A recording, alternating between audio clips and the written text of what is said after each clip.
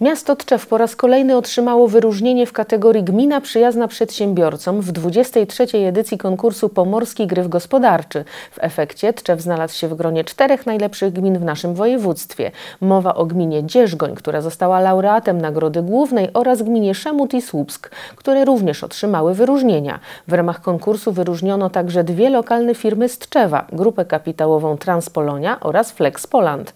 O szczegółach mówi wiceprezydent miasta.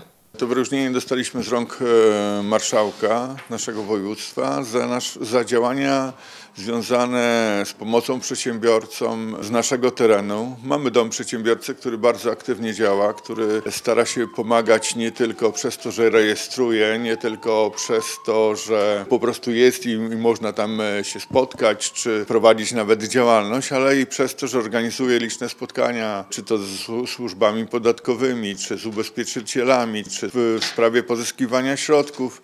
Więc te nasze działania już któryś raz z kolei zostały zauważone i w związku z tym otrzymaliśmy jako miasto to wspaniałe wyróżnienie.